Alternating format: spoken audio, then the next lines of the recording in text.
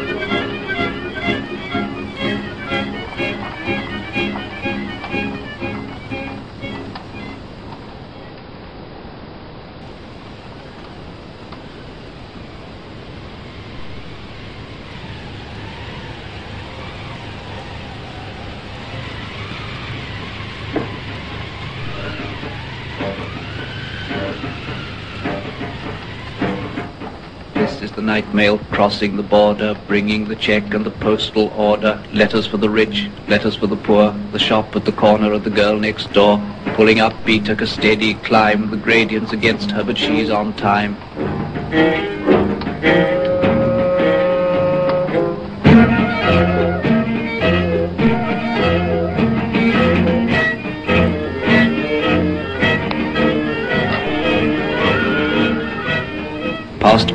Cotton grass and boulder, shoveling white steam over her shoulder, snorting noisily as she passes, silent miles of wind-bent grasses. Birds turn their heads as she approaches, stare from the bushes at her blank-faced coaches. Sheepdogs cannot turn her course, they slumber on with paws across. In the farm she passes, no one wakes, but a jug in a bedroom gently shakes.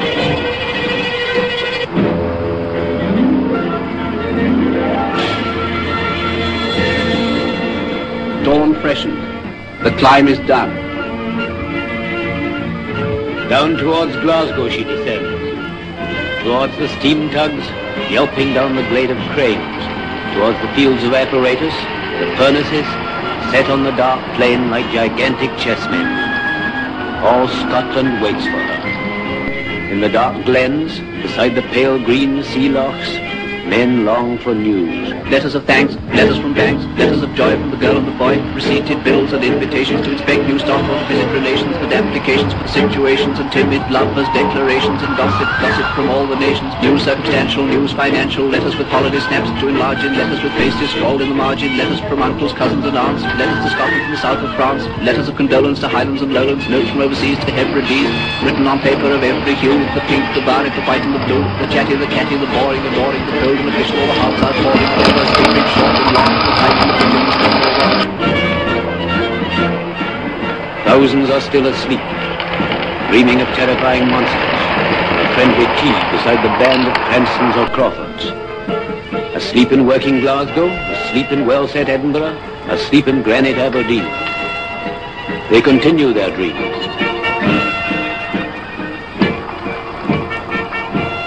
But shall wake soon and long for letters, and none will hear the postman's knock without a quickening of the heart. For who can bear to feel himself forgotten?